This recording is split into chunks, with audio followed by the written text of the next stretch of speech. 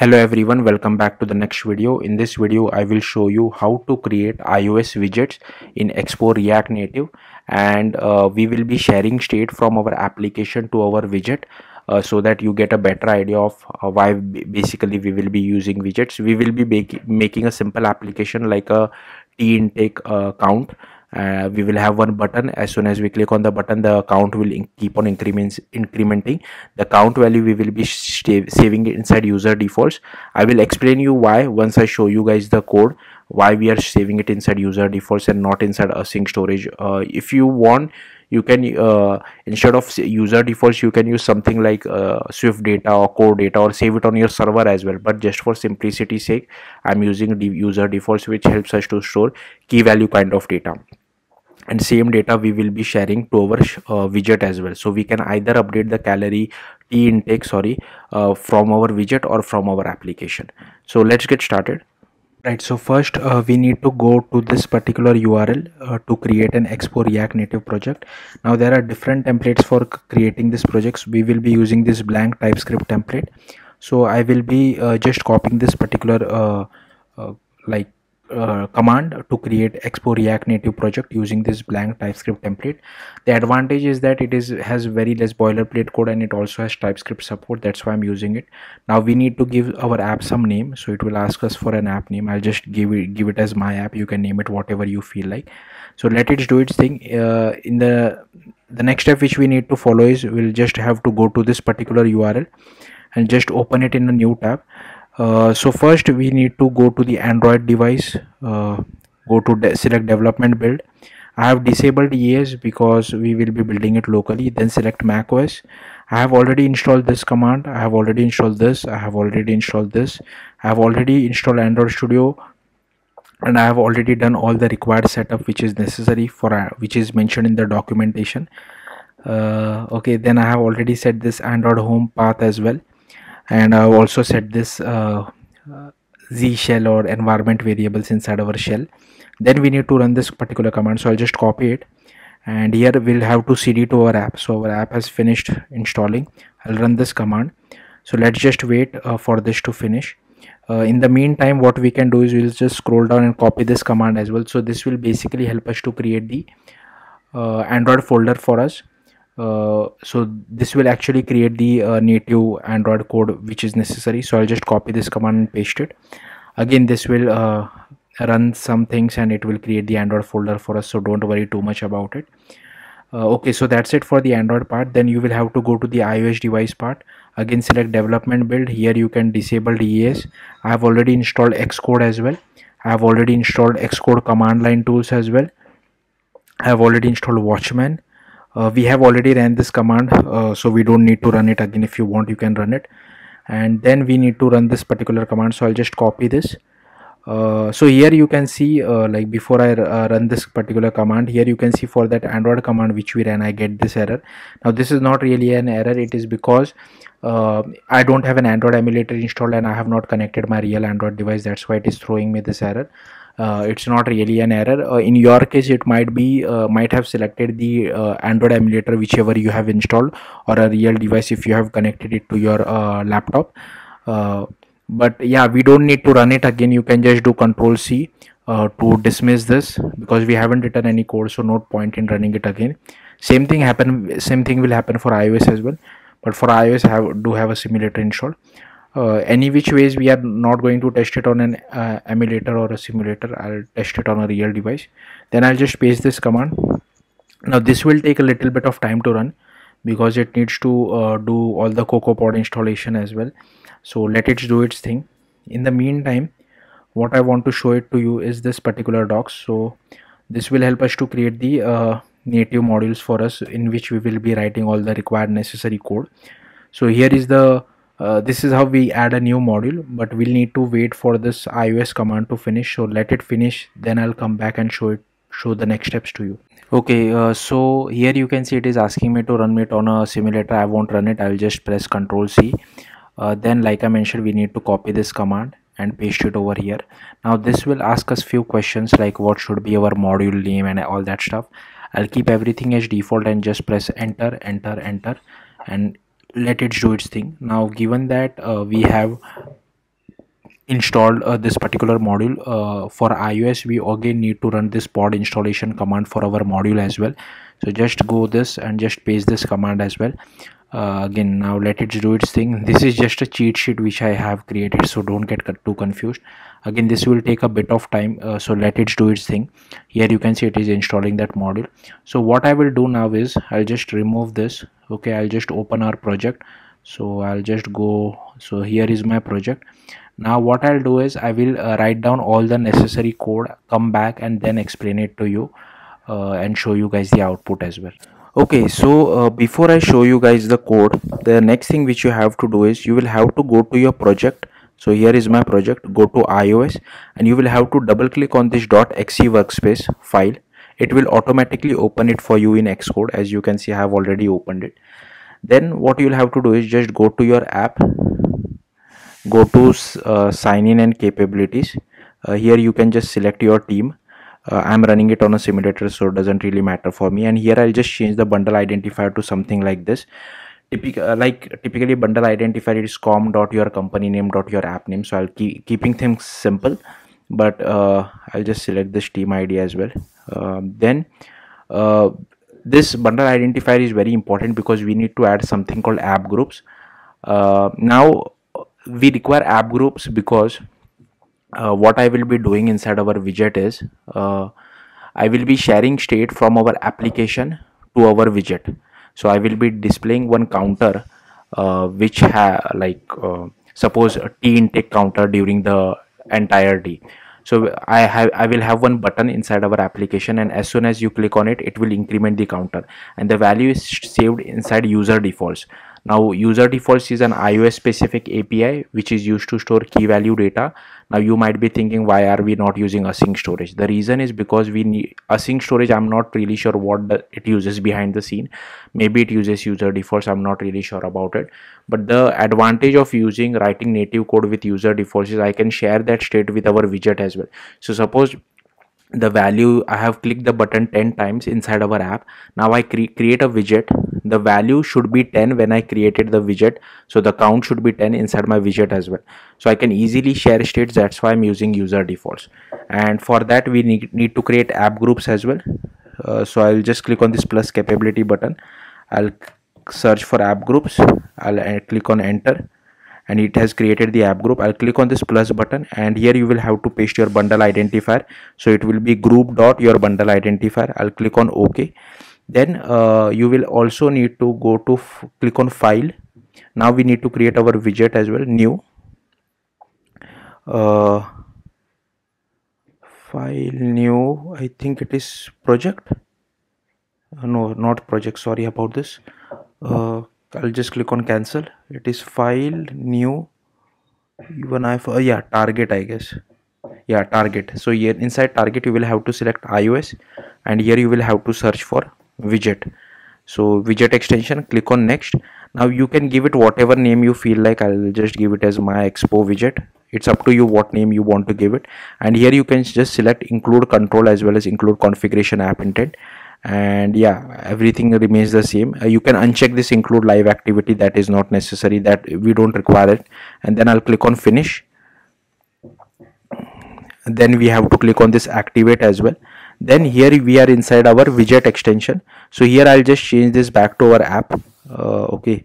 Uh, then here as you can see if you click on your app we have created the app group. Now same app group we need to create it on our widget extension as well. So here is our widget extension. I'll click on this plus capability button and i'll uh, search for app groups. I'll click on enter. I'll click on this plus button again. Again i'll just paste my uh, bundle identifier. Don't paste your bundle identifier of your widget. So if in if you see in your widget it has also appended the uh, your widget name to the bundle identifier. This is only for your widget but while creating the app group don't uh, append your widget name to your bundle identifier as well. It will be normal bundle identifier. Okay so this is done as well. Okay so i have written down all the code which is necessary. So first what you will have to do is uh, you will have again ignore this android part. We are only concentrating on ios so here is our src inside that you will have to go to my module.ts and here i have created two methods. One is for save value second is for get value. So i'm just either saving the value which will increment the current value by one and get value will uh, get the value whatever is stored inside user defaults okay so these two methods i have created. These three things were present by default. I have not touched anything. So only these two methods i have created. Now how to use it? First go to app.tsx here you can see i've just imported touchable opacity. I've imported our module. I've also imported use state and use effect from react. Then uh, here i have created one state for uh, getting the value. And as soon as our app is launched i'm getting the value. So if there is no value then value will be zero. If there is some value we will just get the value and uh, update our state to it. And here is our button. So inside our button uh, we just do my module dot save value and it will increment the value as well as it returns the value back and then again i'm updating the state. And here i have done uh, just one text uh, widget just to display whatever is the current value. Okay so pretty simple on app.tsx side. Next you will have to go to my module.swift and here uh, all i have done is that i have just created one key uh, so like i told you right we are using user defaults for storing key value data. So we require a key name. So i'm using it as stored number. It can be anything but do remember this name because we will be using this name in lot other places as well. So yeah whatever name you use be consistent with that. So this is the key name which i have added. Rest everything is present by default. I have not done anything. So here i have created our get value method so here you can see we are using user defaults dot and we are using suit name. If you have little bit knowledge of native ios some of you might be wondering why we are not using user defaults dot standard because user defaults dot standard does not allow us to share data with uh, widget uh, that's why we are using user default suit name. And here we are passing the app group which we had created. Then we get the current value which is present inside our user defaults. If there is no value we return zero. Otherwise whatever is the current value we return it back. Then here is our save value method. So here we create our user defaults. We pass the suit name again. And here is our current value as well. So whatever is the current value we increment it by one and save it back to user defaults and return the new value back. In case if there is any error i'm just returning back zero. So these are the two functions which we have created. Okay now let's move on to xcode next because we need to write some uh, uh, i mean uh, it's better to use xcode because the entire uh, thing which you see over here so this is our X, uh, widget right? So you will have to first go to my expo widget. Okay let's just wait.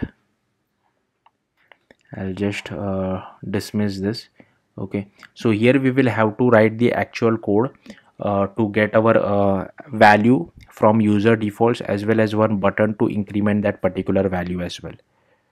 Okay. So what we need to do is first we need to add this import app which i will tell you why we do this. Then we again need to define the same key which we have defined it previously. So user defaults key is equal to stored number then uh, all you need to do is just scroll down and here we will add one method. So i'll just paste it. So here is a get value method which will basically help us to fetch the value from user default. So this is the same code which we have added it inside our native ios. Just be careful that this should be your own suit name. So we get the user defaults value. Then we uh, convert it like we get the integer value and we return it back. Otherwise we return zero next uh, here inside this simple entry we need to define one more parameter which will be value in our case. So the value is in form of string right? So that's what i'm doing over here. So let value equal to int. Now here you will get error. So here we need to uh, satisfy this. So here we just pass this value attribute which we have added extra. And to get the value we will call the get value method which we have defined. So i'll just do like this. So same thing again i'll just copy this and I'll paste it over here as well. And for this particular thing we don't require an array so we can simplify it even further. What I can do is I can just comment this entire thing out okay?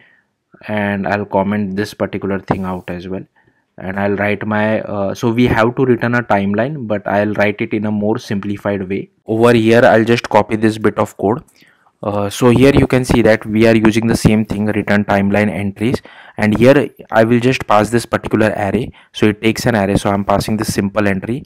For date I'm just passing it whatever is the current date. For configuration whatever is the configuration we which we get over here we are passing it. And for value we are passing get value. And for policy it is basically like after how much time you want your widget to get updated. Typically uh, so suppose i have um, uh, suppose the value is 10 inside our widget as well as inside our application. Now i increase increase the value by one inside our application. Now i want that value to get reflected on our widget as well right? So like as far as i know it's not possible to immediately update your widget without any interaction on your widget itself. Uh, if you have done the interaction on your app so here we are specifying the minimum amount of time. I think this is five minutes do not make this less than five minutes. As far as i know this might type might change in future as well. Apple might decide to change it. But uh, like due to uh, avoid draining the user's battery we have to say, set at least this as five minutes. So that's what we are doing it over here. Okay then if you again scroll down here also we are getting this error. Now this is just a preview part so we can easily comment this out. So no big deal. Then how we want our widget to look. So in my case this time and favorite emoji does not make any sense. So i'll just comment this particular thing out. Okay and the next thing which we need to do is i'll just paste this code over here. So here i have this text element which will display the value which is present inside our uh, user defaults. Okay and here i have one button which will help us to increment the value from our widget as well now here it is giving me an error. We can't use something called action inside our button for a widget. We have to use something called intents. That's why at the very top we have in, uh, imported app intents. Now we need to create a separate struct for this increment intent as well.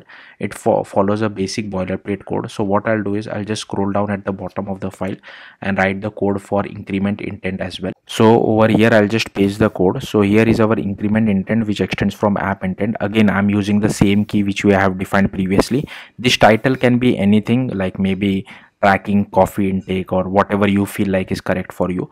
And we have to override this particular method from our app intent uh, so over here again this particular method will get called as soon as our button is clicked. So i'm using the same code which we have defined previously. So we are getting hold of our user defaults. We get the value out of it. We increment it by one and we set it inside our user defaults. And to return back we just do return dot result because this is an async operation. But in our case this is a synchronous operation. So we just do return dot result. So yeah i think that should be it. Now let's run our application and see see the out okay so here is the output. I have the app running. So i'll just click on this dismiss this. I'll click on this update button. Here you can see it is simple so we are just update updating the count. Now the count is six. I'll just dismiss this. I'll, I'll, long press on this. I'll click on edit home screen. I'll click on edit over here. I'll click on add widget. I'll just search for my app. Now if you're like me uh, testing on simulator sometimes it does take a bit of time to reflect your app so i'll just select my app my app and here you can see it is all, all, like automatically display always like sorry it is already displaying our count as well as the increment value. So here you can select what uh, widget you feel like. I'll just select the second one. I think that looks a better. I'll click on add widget. I'll click on done. Now here i will just increment this value. And here you can see the value has changed to 7 the value has changed to it. Now what if i open the app again? Now i have not completely closed the app. The app is still in background. It is still showing 6 now the reason why it is still showing 6 is because i'm only updating the count inside use effect. So use effect is not called. There is something called app did come in foreground there is kind of like a event listener in react native which you can use to automatically update the count. But if i click on this update count i think it will directly jump the value to 9 because the currently the value is 8 so if i update here you can see the value has jumped to 9 now here the value is 9 yeah i it is not automatically updating inside our widget. Like i told you you will have to wait for at least five minutes before and the os will do it automatically for us. We don't have to worry about it. If you know a better way do let me know in the comments. But now if i click on increment value over here it will directly jump the value to 10 here you can see. So yeah that's it. Thank you for watching. Bye